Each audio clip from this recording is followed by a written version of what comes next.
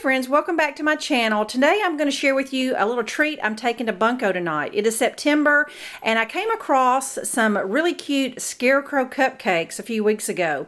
Now there's all different variations. If you Google scarecrow cupcakes you will see there's tons of variations of them and what you make the hat and the eyes and the face is just completely up to you of what you got. But let me show you what I'm going to make mine out of. Now my hat I'm going to use some of these sugar wafers. I've seen them made with some rolled out caramel, different things. Uh, for the hair, I'm going to use some shredded coconut. I'm going to toast it a little bit to get a little brown color. You could use chow mein noodles or shredded wheat.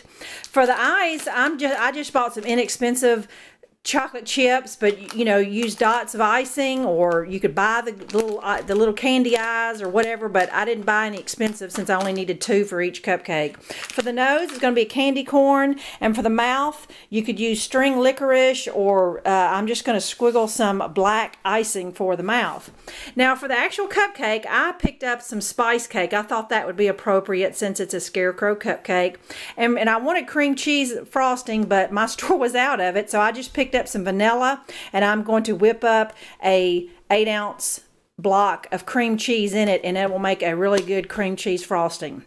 So those are the ingredients. It's a little pricey to do it, maybe about $10 to make this set of cupcakes, but it really makes a cute impression when you take it to a fall get together. I'm not going to go through how to make a set of cupcakes, but when I get back with you, we'll be ready to ice them and I'll show you how to make the scarecrow face. Okay, to toast my coconut, I just spread out about half the bag on some aluminum foil on a cookie sheet and I set the broiler on high and it's going to take two or three minutes but you constantly watch it because it will turn brown really quick.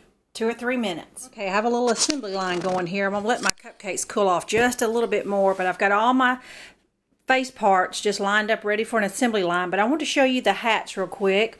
Now what I did for the hats is I took one wafer and I just cut it directly in half and that's going to be the the top part of the hat. Then I took another wafer and cut about a fourth of it off and then split that in half and so that's going to be the brim of the hat. I'm going to take just a little dab of icing like glue and I'm going to put it along the center of that and then just on this brim and kind of glue the little hat the three pieces of the hat together. It'll help it stay just a little bit and then that's what I'm going to put on the cupcake.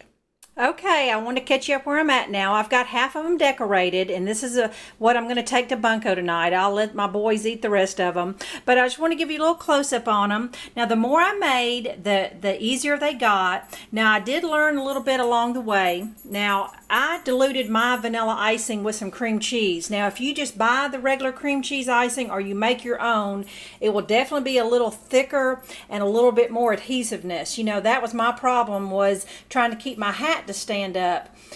And so I just took this little cake carrier and propped my hats up. Now, once it's chilled, I think everything will set into place, but they are a little tricky at first but they are definitely doable and uh, you know be sure and i know that a cake mix makes 24 cupcakes but allow yourself a few mess ups so don't count on more than 18 or 20 just in case some of them don't turn out just right because you definitely want your scarecrow cupcakes to look like scarecrows you know i did mess up on one or two the more i made the the cuter they got and and i saw somewhere you know some people put a little strip of licorice or something right there to cover up those little uh, icing spots. But you know, you might can find some little candy flowers or something to stick there. But I think they're cute. I think the girls will enjoy them, and it's just something fun to share at Bunco. So I hope you enjoyed it. Hope you give it a try, and happy fall. Bye bye.